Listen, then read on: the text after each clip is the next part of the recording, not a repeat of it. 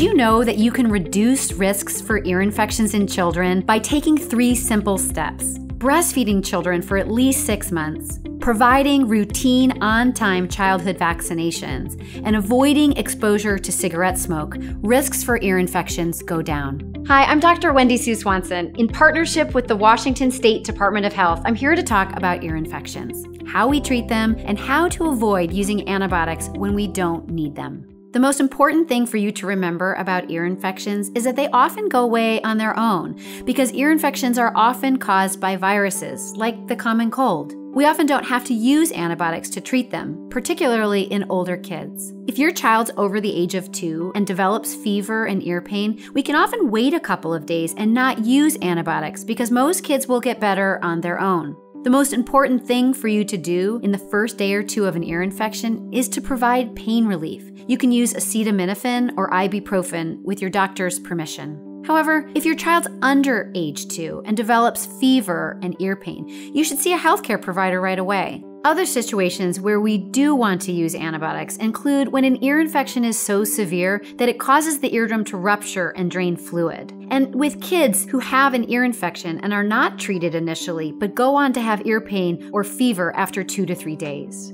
Antibiotics can sometimes cause more harm than good. They'll kill off good bacteria and lead to antibiotic resistance, meaning antibiotics will no longer work to kill that type of bacteria.